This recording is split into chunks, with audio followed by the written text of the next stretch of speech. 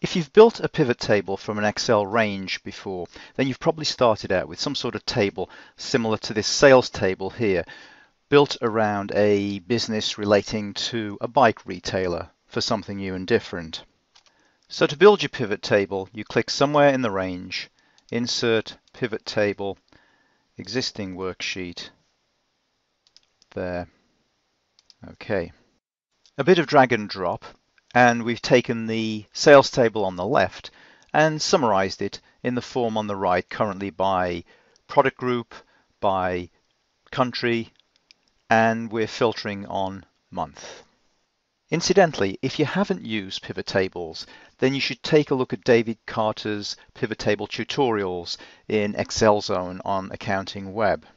As flexible as pivot tables are in terms of letting you switch around rows and columns, they do have some restrictions in the sense that you can't move parts of a pivot table. For example, if I try to insert a column, then I get an error message that tells me in no uncertain terms that I can't do that. This can be limiting if you're trying to lay out a report in a certain specific way. Now, if you have Excel 2010 or Excel 2013 and you have Power Pivot installed, then you have the option of a slightly different approach. What you do then is click somewhere in the Excel range that contains your data.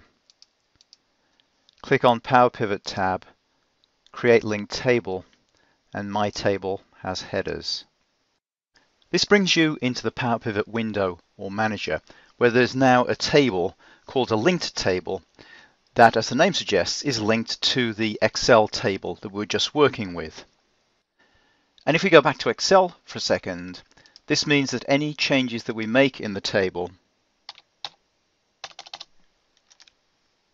when we do update all, will be reflected in the Power Pivot table. I'm just going to format these two columns. As you can see, it's quite Excel-like. And now I'll create a pivot table and put it there.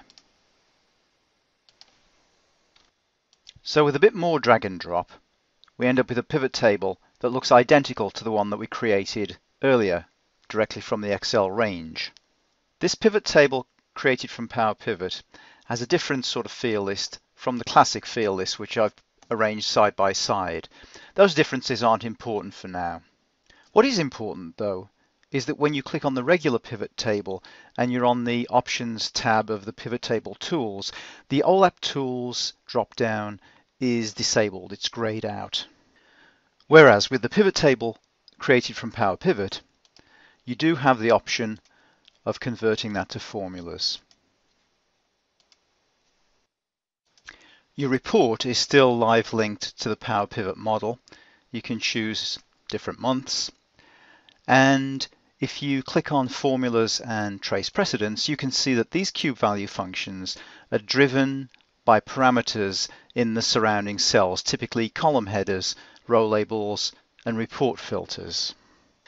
And if you're missing a country such as Mexico and you want to place it above Netherlands, you can copy Netherlands, insert copied cells, and then just edit that to be Mexico. And you are no longer prohibited from inserting rows or columns in your report.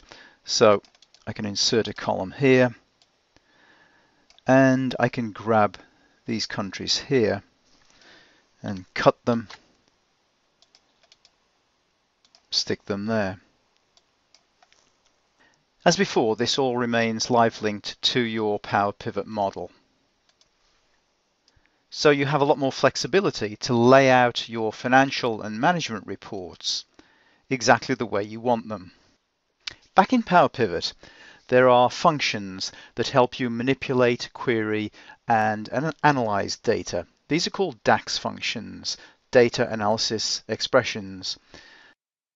Here's one that I'm using to summarize all the reporting journal entries, the, the credit entries that are being applied to this account, to this entity on this date. And I think you'll find that if you invest time to become more familiar with it, this environment is a much better and more robust place to do this kind of data manipulation, far better than doing it in a worksheet.